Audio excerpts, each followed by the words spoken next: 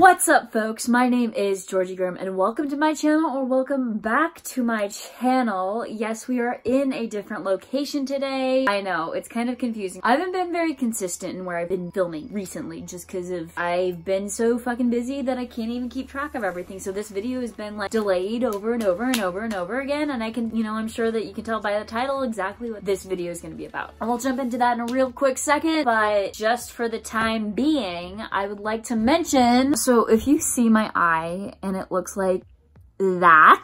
Don't be alarmed. So basically what happened, quick mini story time before I get into this video. What really happened was that I was trying to go and like go into my brother's room and I wanted to like, you know, see what he was doing. And it was like at 9.30 at night and apparently he was like talking to his girlfriend. And basically what happened was that I was, you know, as I opened the door, I open it and, and it like fucking like so hands in my face and on the ground and I'm crying, I'm crying, I'm crying. And like I see blood on my hands. I'm like, oh my God, what the fuck is this? Like, did I literally just fucking die? I was literally, I am the most dramatic ass bitch you'll ever meet in your entire life. I swear to God, I literally thought I was fucking dying. I was like, oh my God, call the ambulance. I am dying right now. Holy fuck, what is happening? And so of course, you know, my parents are like trying to help me and I'm just like on the ground, I'm sobbing. I'm literally clutching my hands over my face so they can't even like see it. And the, my mom's like trying to pry my arm off my face so she can just like get a fucking look because she's like, okay, are you dying? You know, what's going on? You know, and they see it and they're like, oh my God, it's like not that bad. And they lay me down on the bed and they're like, okay, it's like breathe, you know, it's fine, it's fine. And like my dad sits with me and he's like, gotta take deep breaths, deep breaths. And I'm like, okay, okay. And I'm like holding his hand and I'm like, it's like a lot of emotion. Oh my god. I might just make this a separate storytime video, but fuck. I'm just like literally like killing time before I actually get into the real video. It's fine.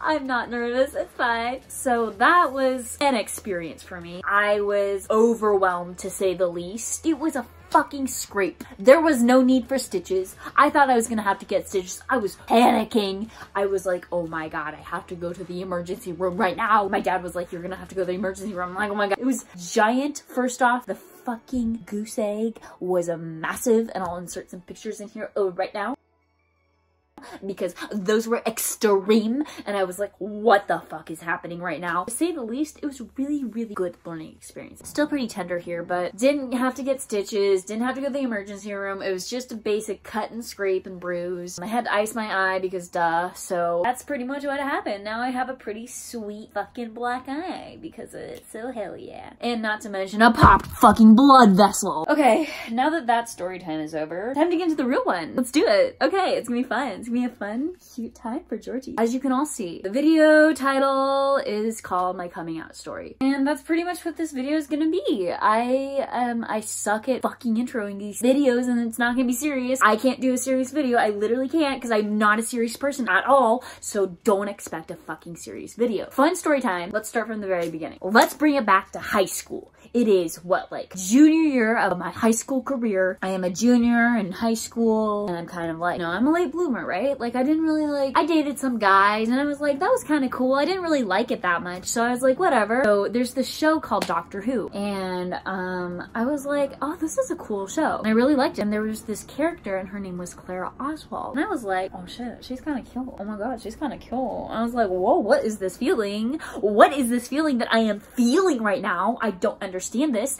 And I was like confused. I was like, oh my God, oh my God. Like, do I like girls? Do I like girls? Do I like guys? I don't know. And so I was like, I think I might be bisexual. And so I was like, okay. I casually like kind of came out to my mom when I was like in high school and she was like, okay, we're gonna talk about this later. And then I quickly was like, never mind, I'm not actually bi. And I like stayed in the closet for another like, I don't know, two years after that. And so that happened. And then I dated a guy my senior year all the way through my college freshman year. I dated this guy all the way from like mid March all the way through beginning of September, September 1st. I know that for a fact. I know that is the exact date that we broke up on. We broke up on September 1st, 2016. And I dated him for about a year and a half. That was a really fucking horrible relationship. As a whole, I fucking hated him. He was a dick. He abused me mentally, emotionally, and physically. That was not a good relationship. I will definitely bring that story back later on and I'm not doing this story time. But I'll save that story for a later date. We will talk about that much later. But he was the reason for a lot of my PTSD, my anxiety, my depression, and basically my overall poor mental health. So that was a really fun time for me. I really fucking loved that. That was horrible. I honestly was like in such a horrible spot in my life. I didn't even know what to do, you know, where to turn. I was so miserable and I was so fucking depressed. I didn't know who I was, what I wanted to do, where I wanted to go in life, and what I was doing at all in general. And so, of course, you know, I just kind of did. I didn't turn to drugs. I didn't turn to alcohol because at the time I was really scared of all that. I hadn't really tried that. That wasn't really like my vibe, you know? Although there was this one point, okay, I'm getting really sidetracked right now, but it's fine. Totally ties into everything else, so don't worry about it. There was this one time, it was a really, really bad night, and my ex-boyfriend at the time, that sounds so weird to say now, I know, it's so kind of, it's fucking crazy, it's wild, it's wild, it's whatever.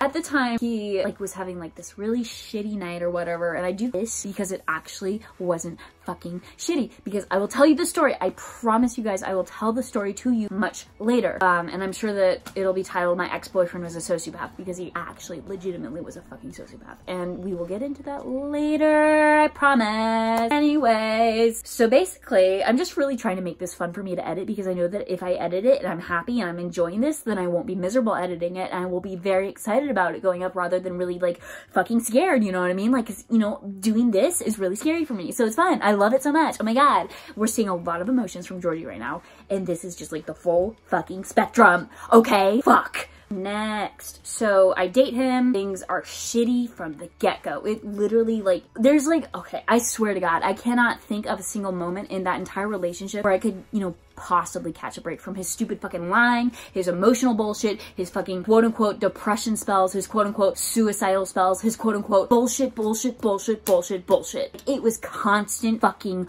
bullshit after bullshit after bullshit. I could not seem to catch a fucking break. And it was, oh my God, there's a lot there. That's why I need that to be a separate video. There was this one night when my ex-boyfriend, let's call him Bob. That's a weird name. Let's call him Jimmy. Jimmy works. Okay, great. Where Jimmy texted me and he was like, oh my God, I'm, I'm so depressed right now. I'm having anxiety anxiety, I'm having depression, like I want to kill myself, all this. And I'm like, fuck, I don't know what to do. Like I literally was like, oh my God, like, I don't know what the fuck to do. I'm, I'm literally in Ellensburg. He's in Seattle. We are two hours away from each other. I can't do fucking shit. And I'm like, I'm having like a grand mal panic attack. That's what I call my big, big, big panic attacks where I was like, that shit was not fun. I've not experienced that in a very, very long time and I'm very grateful for that. But that was the worst, I think one of the worst anxiety attacks I've ever experienced in my entire fucking life as a whole. And I've experienced a lot of anxiety and I've dealt with a lot of anxiety in my life. That was a bad one. That was a really, really bad one. I almost like fucking like, I don't even know. It was so bad. So I call my dad because my dad is like literally like one of my best friends. Like he is like my ride or die. Like, I mean, I say that about Tony. Tony absolutely 100% is my ride or die. But my dad, because I didn't know Tony at the time. My dad at the time was my ride or die. You know, I fucking like, I told him about everything. I was like, Dad, I don't know what to do. Like, I literally have no idea what to do. And he was like, I don't know. I'm so sorry. You can call the police. And I was like, I don't know. I'm in Ellensburg. He's in fucking Seattle. Like, I don't know what that would mean. And so it was a whole thing. And then he always did this. Jimmy, not my dad, but Jimmy fucking like 10 minutes later, it felt like an hour. 10 minutes later, he was like, just kidding. Shit like that happened all the fucking time. And that was one of the worst fucking things I've ever experienced. and that was the last time I ever dated a guy. And I just remember like after going through all that bullshit, I was like, I just want a fucking drink. I just want a fucking drink. And I like, I went across the hall because our hallways and the dorms that I stayed in were like really tight and really close together. So like my dorm friend like literally lived right across the hallway from me. And so I was like, dude, I need a drink. Like I need a fucking drink. I need something. And he was like, I'm so sorry. I don't have anything right now, which was super rare because he definitely always had stuff on him. So it was really rare that he didn't have anything on him. I was like, fuck, okay, fine. Which was honestly a blessing in disguise. I, I really am grateful that I didn't have that option, you know, even though I really wanted that option at the time. That was a really bad time. And I'm like kind of remembering that now and it's just like, wow. And I'm remembering it all in full detail because it's really, it was an experience that I have not forgotten and I don't think I ever will just because it was so traumatic and it was so, oh my God, it was just, it was everything and oh fuck, I don't even know. I can't even begin to like tell you how fucking horrible it was. But anyways, fast forward to after I've broken up with Jimmy. All that bullshit is over with. It's gone. It's done with. You know, it's all left in the past. Fast forward to my winter quarter of my sophomore year. That's when I meet Tony and we hit it off like immediately. We are best friends literally from the get-go. We are best friends and we start talking about moving to LA. We start talking about YouTube, Hollywood, all this stuff. You know, of course, we're still in the beginning phases of all of our, you know, stuff that we're doing. We haven't really like, we haven't started our journey yet in terms of like growth and like where we really want to go. So it's just pretty much like the beginning phases of like what we're doing right now, which was honestly crazy to fucking think about that that's what we were doing last year. We start pretty much hanging out every single day. I hang out with him like 24 7 and I'm like, okay, this dude's awesome. I fucking love him. He doesn't want to fuck me. I love that about him. I love that we can just be friends. I love that there's no pressure with that. I really like being friends with guys, but I always had that pressure or that anxiety that I had to have sex with them. And I was like, fuck, I really hate doing that, you know? At that point, I'd only slept with two guys in my life. And I've only ever slept, I think, with two guys in my life. One of them was in high school. He was my high school boyfriend. And then the other one was Jimmy. Tony's gay. Y'all know that. It was really cool to have a friendship with a guy where it wasn't like, like romantic. You know what I mean? There wasn't that expectation and we could just be each other and be around each other and just be with each other and not have that pressure of like, you know, there needs to be sex or something like that. You know, our friendship flourished. It's, you know, it's grown literally so much over the past couple years that we've known each other. And he's seen me grow from like being this like scared, like thinking she was bisexual into who I am now today. So it went from I met Tony, became friends, winter quarter of my sophomore year, his junior year. That was awesome. Then we moved in together my junior year and his senior year and we lived together all throughout that entire year. I still thought I was bisexual. I wasn't dating really anybody at the time. I'd only really been like interested in women specifically.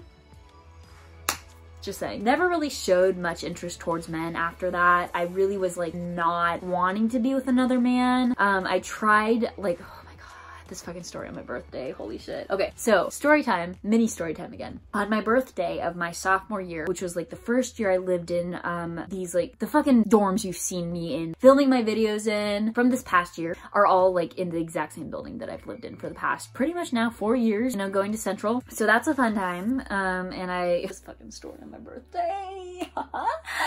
oh my God. So my birthday, my birthday, my birthday. Great right? Okay. So it's my birthday and I am turning 19. And 19, I will always, always, always claim that it was the worst fucking birthday I ever had.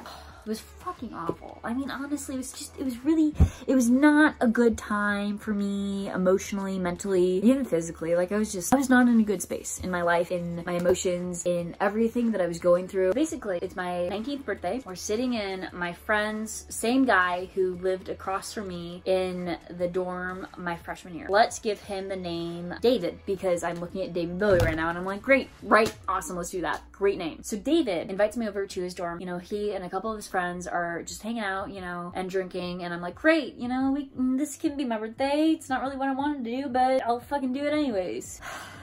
so much growing up to do. Fuck. This is so weird to think about. Anyway, so we're, you know, we're hanging out in his dorm, we're drinking, we're having a good time. You know, we get pretty drunk. It's pretty good. I'm like, great, this is awesome. And then we start dancing and shit gets more intimate. And I'm like, oh, this is kind of getting awkward. I don't really like where this is going. I don't really like where I'm like, this is kind of weird. I don't feel very comfortable with this. So I'm like, okay, but I'll still go with it because I think that I, you know, I'm still under the impression that this is what I have to do. I have to be this way. I have to be with men. I have to be, you know, kissing men, even though I don't want to be kissing men. And even at the time, it was so funny because I was so under the impression that I was, you know, still bi, that I thought that I had to like men, that I thought that I literally liked men. And, you know, I thought that the anxiety that I felt inside of my heart every time, you know, a man kissed me or a man like you tried to make moves on me was like because he wasn't the right man. But it turns out that that happened with every single guy I'd ever been with. And I've been with, you know, a couple of guys. So it wasn't like I was, you know, not with the right guy or anything. It was just because I just wasn't with the right person, aka not a woman. and so, of course, things heat up a little bit, you know, it's gonna, whatever. And like, we're making dinner downstairs. I, I think I asked, have you ever felt this way about another person? Um, and then he like drunkenly says like, no only one other person. And then I'm like, oh, that's such a fucking line. Like in the back of my head, like I could tell because I was like, I'm smart, like I'm intuitive, I can pick shit up. I knew that was such a fucking line. And I was just like, okay, great. This is just, you know, one night stand. This is some bullshit. I don't care. And so we go up to his room and we're like, you know, and shit's getting hot. And I'm like, okay, things are happening. And I'm like, great. And then I'm like, do you have a condom? And because I'm, I'm drunk, you know, I was so upset. I was so miserable. Was so angry. I didn't know what I fucking wanted. I was like, this is like the worst time I've in my life. And I was just like, I guess, you know, I want to have sex with the guy. And so um, he like pulls out condom. He's like, yes, I have one right here. And I'm like, great, awesome. And then, you know, we keep kissing. We keep, you know, getting hot and heavy or whatever. And then I'm like, okay, stop. And then he stops because he's a good guy. Fortunately, fuck. I don't know what would have happened if he wasn't. Oh my God. I'm so grateful. Thank you so much. Like, if you know who you are and you're watching this video, thank you for not, you know, taking advantage of me when I was in that state. That definitely could have happened, but you didn't because you're a good person. And I'm really grateful. Move forward. And then we have all that happened. Sophomore year was kind of crazy. Lots happened. I learned a lot about myself. Tony helped me reach a lot of like new insights about myself that I never realized that I had. He helped me realize that I was psychic, that I was, you know, probably way more capable of more shit than I ever expected myself to ever be. So thank you so much, Tony. You're literally like, I literally don't know what I'd fucking do without you. You know that you're like my homie. So like, you know, you know how it is. You know how we are. Fast forward to my junior year, Tony and I are living together. It's pretty fun. It's pretty cool. It's pretty chill. I, you know, go throughout the majority of that year without like really dating anybody. I'm not really into the dating scene that much. I'm not, I've never really been into the dating scene like in general. I've always been very like solo, you know, I've been very like okay with being single. I've always been very like okay with not being with somebody. And so, you know, being in a relationship was never really something I was like always in, you know, I was always kind of like single. You know, like I said, I go throughout the majority of that year without really dating anybody. And then I get to the end of my junior year. It's my fucking spring quarter of my junior year. And I'm really like seriously thinking about wanting to go on a date with a girl because I've been like really, I've never been on a date with a girl. I'd never been with a girl at that point. I know I'm a junior in college and I have not been with a girl yet. I was like, well, I fucking need to fix that. So I, you know, hit this girl and I'm like, hey, I think you're really cute because we've kissed before at parties and like I thought that she actually was really fucking cute. So I'm sitting in class, right? And I'm like, like really nervous, you know, and I'm like thinking about this. I'm, I keep thinking about it. It keeps playing in my head. I'm like, fuck, fuck. I really want to ask her out. I really want to ask her out because I think she's really fucking cute. And I'm like, oh my god, okay, come on, Georgi, just fucking do it. And so I pull up Snapchat because that's the only form of communication that I have of her on my phone. And I'm like, hey, I think you're really cute. We should hang out sometime. And I said that to her. And I'm like super fucking nervous. And I'm like, okay please, please, please, please, please say yes, please say yes. And I get a back response and it's exactly what I wanted it to be. And I'm like, oh my God. And she's like, hey, I think you're really cute too. And I think we should definitely hang out. I was like, I was like, oh my God, did I just flirt with a girl for the first time? Oh my God. And I was like, whoa, so is this what it really feels like to be like with somebody who you actually fucking like and want to be with and don't feel anxiety when you're around that person? Oh my God, what is this feeling? I don't know what it is. It's so new. And I was just like so overwhelmed with the feeling. And I was like, whoa, okay, this is new. This is fun. I like this a lot. And then I think later on in the evening, we go on a date. It's really cute. We go up to the hill where Tony and I like have had a lot of like psychic deep shit happen to us in Ellensburg. We go on a date to the water tower up there. It's really cute. And we're walking, we're holding hands. It's really cute. I'm really happy about it. Oh my god, it was so fucking cute. I literally ah, I'm like thinking about it right now. I'm just like, oh my god, that was so fucking cute. And then she like we get to the top of the hill and she fucking kisses me and I'm like Oh shit, bitch! What the fuck? And that was like the coolest fucking experience I've I'm like emotionally living through it again. And I'm just like remembering I'm like, wow, that was such a good experience. And I'm like so happy in that moment. I'm just like, wow, this is what it's actually about. This is what the fuck it fucking is about. It's just like, no shit. No shit. You know? And I mean, still, even still at that fucking point, I thought that I was still bisexual. And it was a lot of the reason why is because I think it was because she was also bisexual. So we get to the top of the hill, we kiss it's really cute. I'm really happy. Okay, we stopped making out and it's just like, it's really cute. And like I was wearing this dress and she really liked the dress it's really cute. It's so fucking cute. Oh my God. I'm literally like still thinking about it. I'm just like, wow, fuck. Like I'm definitely over her. But like that moment was just like so god, she was so fucking hot too. Oh my god. Literally, like, let me just go on a full ass rant about my first, like, girlfriend pretty much. Cause, like, we didn't put a label on it, but we were definitely a summer fling. We had a summer fling. We were like, shit was happening. You know what I mean? Like, shit was fucking happening. And, like, it was good. It was really fucking good. That was the summer between my junior and senior year of college, in which we were, like, summer flings with each other. Cause we, like, you know, we pretty much just, like, made out all the time. And, like, it was really cute. And, like, you know, stuff happened. It was, like, kind of steamy. You know what I mean? Like, it was pretty. Oh my god. And then we get to end of summer. And like she's not really talking to me. And I'm like, okay, what the fuck's going on? And I'm also like on a bunch of dating apps too at the same time. Except I wasn't really with like when I was dating her, we were in an open relationship. So I was like definitely like talking to different girls. And I was like, oh my god, you're super cute. Oh my god, like whatever, whatever, whatever. It's fun. Summer fling happens. End of summer happens. Uh, we are no longer a thing. You know, things have moved on. Some shit happens. And then, you know, we go on and we, I go back to school and I like start going on these dating apps. And I'm like, okay, this is really fun. Like, I really want to fucking like do this because it's like, okay. Um, and to be truthfully honest, the only reason why I started doing them was because Tony started doing them and I was like, oh, my big brother's doing them, so might as well do them too. Oh, you know what I mean? I hate myself for that. Um, but I was like, Big Brother's doing it, so I have to do it too. God, that was such a fucking, oh my God. That is totally exactly what happened. So, you know, and I start like, I get on these dating apps and keep in mind, I still think I'm fucking bisexual because I'm stupid.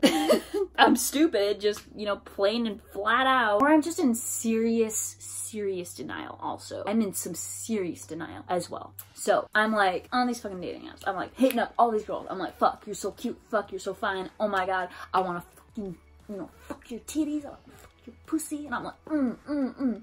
Yes. And so sorry. I'm probably gonna cut all of that out or I'm not and it's gonna be kind of a lot for everyone watching this video but it's fine because it's me so I don't give a shit. So yeah, it's a fun time on all these dating apps.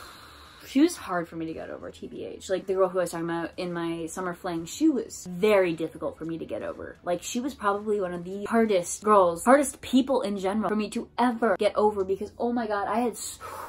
she was like, she was deep-rooted in me. She was pretty deep-rooted. I was like, she had her talents in me. And I was like, fuck. You know what I mean?